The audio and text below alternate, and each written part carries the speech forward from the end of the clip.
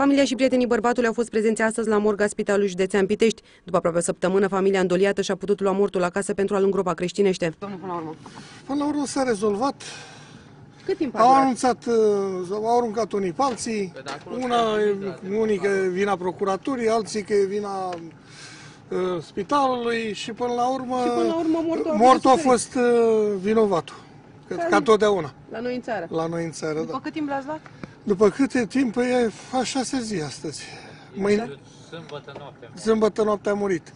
De sâmbătă noaptea până astăzi. Să-l ducă la morga, era moarte suspectă? A căzut în farmacie. A, în farmacie. În farmacie a venit rău, a căzut și de aici Da, da. Suspiciuni. Dar uh, mă gândesc că trebuia autosezizare făcută imediat cum la interna la camera de gardă. Poliția să vină să facă dosarul imediat. Șeful SML Argeș Dan Manu spune că întârzierea a fost cauzată de anevoioasele proceduri legale care trebuie respectate. Lumea suferă, lumea este dezamăgită. Acest caz.